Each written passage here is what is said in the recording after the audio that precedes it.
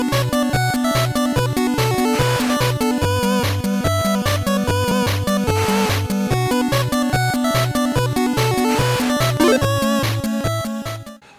everyone, so TGS is right around the corner. It actually starts on the 20th September, so this coming Saturday, and runs through to the 23rd. In this video we're going to discuss what we're likely to see come TGS from Jump Force. Uh, there's been quite a lot of news and rumours as of late, so we're going to be going through what we're likely to see during this presentation. So Spike Chunsoft have a 45 minute presentation slot on the 20th, which is at their main stage starting at 2.30 p.m. JST, which is 10:30 p.m. PDT on the 19th and 5:30 a.m. GMT. So we'll actually be asleep and also at EGX that day.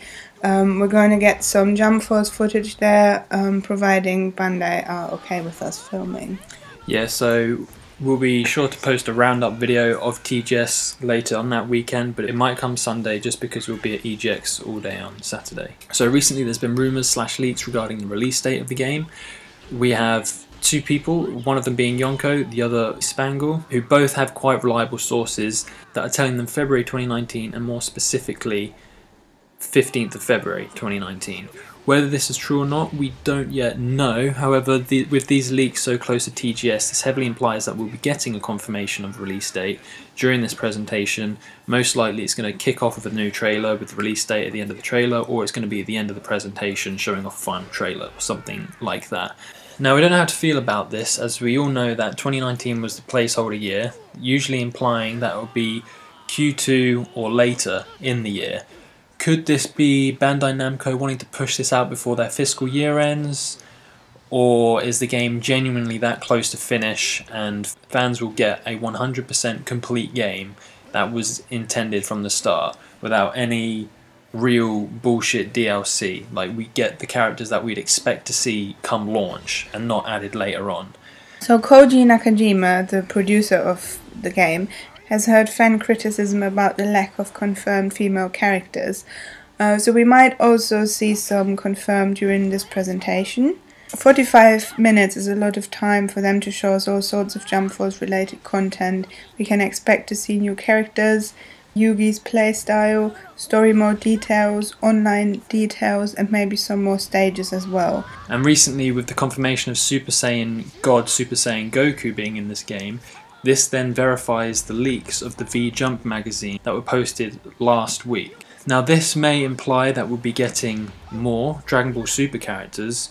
During this presentation, will split screen be announced? Like we said, 45 minutes is a long time to demo and present your game.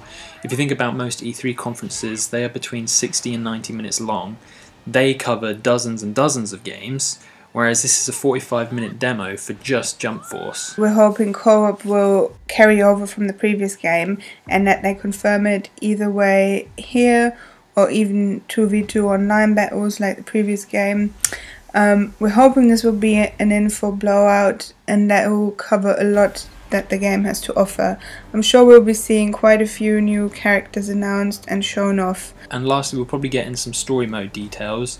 Depends on how much info they're willing to give, but maybe we'll have some more information on Light's involvement with the game and how he plays into this.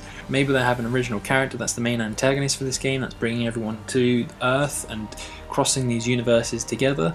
All in all, if the leaks of Feb 2019 are legit, then I'm sure we'll see Bandai and Spike gearing up for marketing, showing off a lot more in the short span of time. So hopefully they still have a lot to show off.